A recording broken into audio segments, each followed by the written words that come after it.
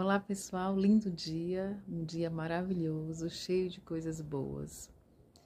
Gente, para começar, eu já peço um like para esse vídeo, que é muito importante para o canal, para o YouTube, que está divulgando mais os vídeos.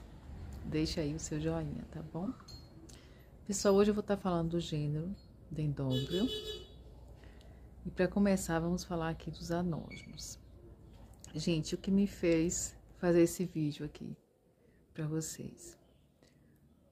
Chegou uma colega aqui e viu os anósmos assim, peladinhos, com algumas folhas ainda e outras assim.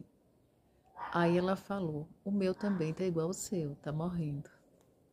E isso me fez fazer esse vídeo aqui, porque eu sei que muita gente deve ter essa dúvida, principalmente iniciantes, pessoas que estão tá, né, começando com o anósmo agora. Então, o que acontece? Aí eu falei para ela, não, pelo contrário, ele vai ficar muito lindo, porque isso está acontecendo. As, o vegetal, a folha, né, vai ficando assim, amarelinha e cai. Então, aqui, ele está se preparando para ficar lindo, para vir a floração, gente. Olha aí, ó os bulbos, ó, como é que estão. Esse aqui, gente, é o tipo e esse é o alvo, é o branquinho, né? Aí tem outros pendentes, né? O corela, entre outros aí. E aí, pessoal, ela falou que ela ia tirar os bulbos que estavam assim peladinhos.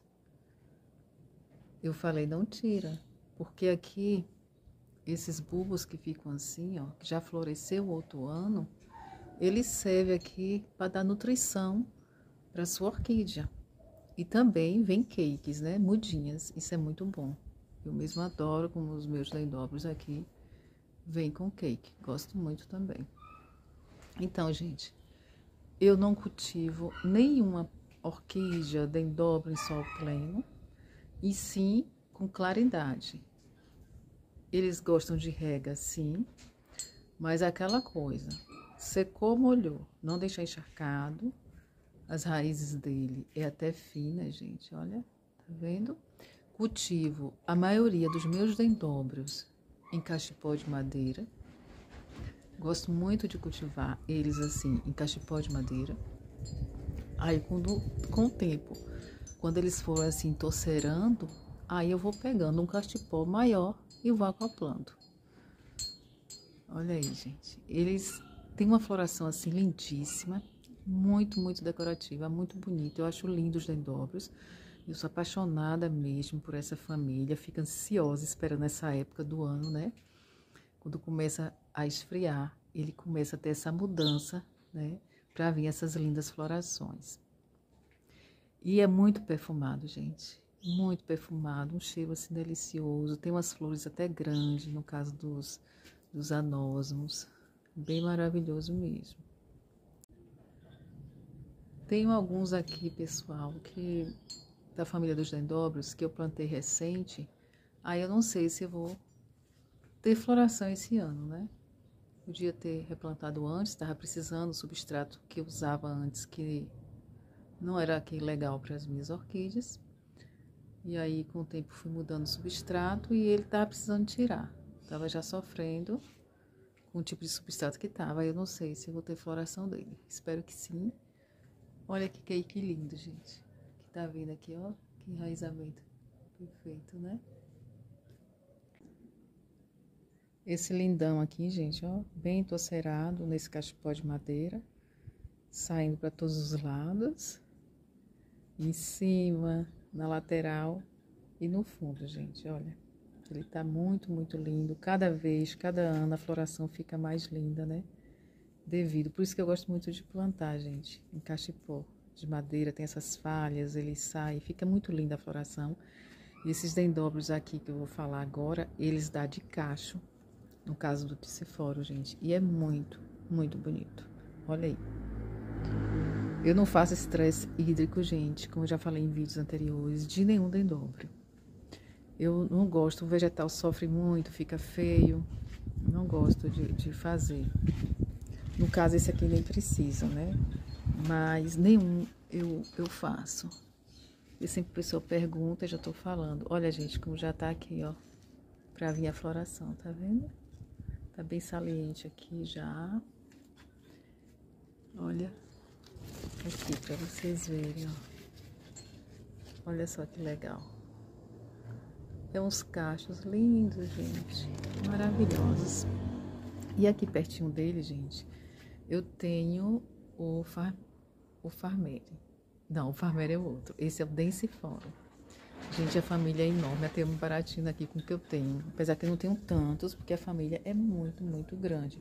Mas os vegetais são muito parecidos, né? Olha só para vocês verem, o Tissiforo e o Densiforo, né? Bem parecido aqui. Esse também, gente, já tá com... Já bem formando. Deixa eu ver se eu encontro aqui pra mostrar pra vocês.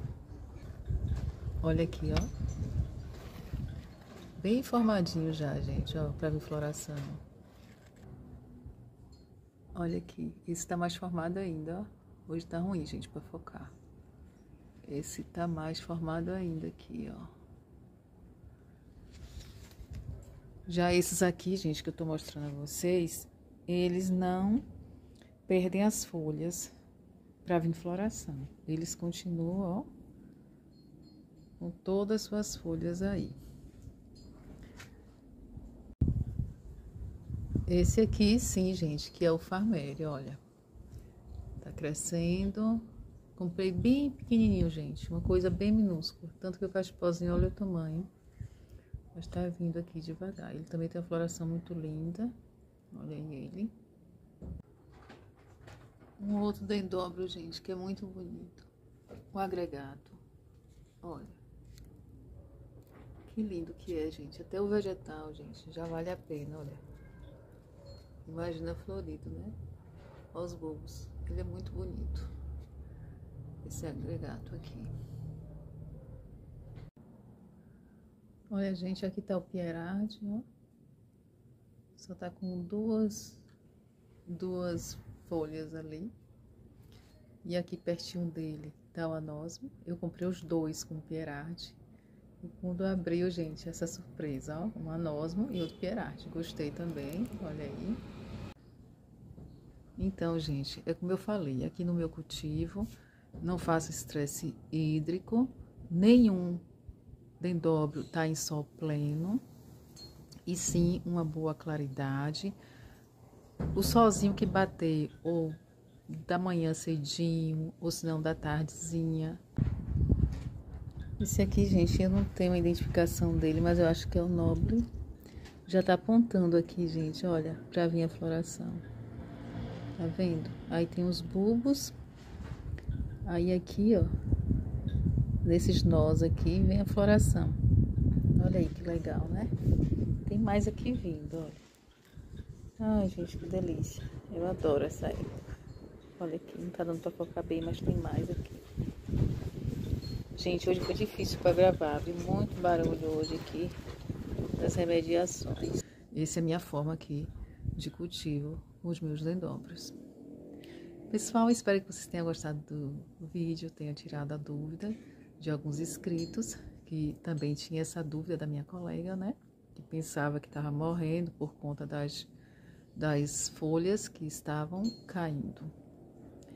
Gente, compartilhe, se inscreva se você não for inscrito no canal Recanto das Orquídeas. Deixe o seu like, que é muito importante para mim, tá bom? E até o nosso próximo encontro, gente. Beijos!